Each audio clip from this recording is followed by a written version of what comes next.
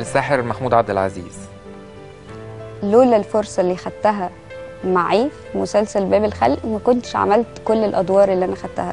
ف... فما زلت لحد النهارده بقول إن باب الخلق هو الحاجة اللي خلت تليفوني يرن وخلتني أبقى في المرحلة دي. يمكن لما كانش جالي باب الخلق لحد النهارده ما كنتش وصلت للمرحلة اللي أنا وصلت لها بصراحة.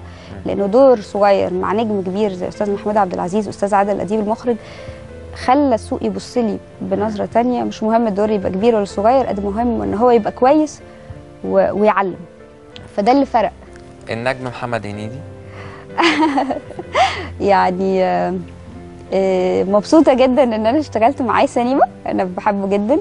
والناس كلها يعني الناس كلها لما كانت بتشوفني في الفيلم بيقعدوا يتريقوا على حتة إنه طول الوقت بيضربني بالبوكس طول الوقت. فأنا مبسوطة إن أنا اشتغلت معاه بس هو هو الدور كان ما كانش كبير خالص بس أنا ما ينفعش أرفض حتى لو كان الدور كبير أو صغير إن أنا أبقى مع أستاذ محمد هنيدي. طيب ال...